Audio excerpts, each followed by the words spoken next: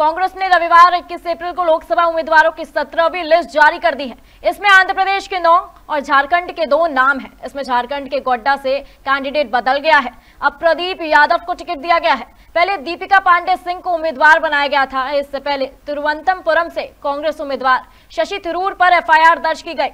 ये एफ़ भाजपा नेता जे आर पद्म कुमार ने कराई है। पद्म कुमार का आरोप है कि थरूर ने एक टीवी प्रोग्राम के दौरान तिरुवंतमपुरम से भाजपा उम्मीदवार राजीव चंद्रशेखर पर अपमानजनक टिप्पणी की। पद्म कुमार का यह भी कहना है कि थरूर तटीय इलाकों के वोटरों को प्रभावित करने की कोशिश कर रहे हैं।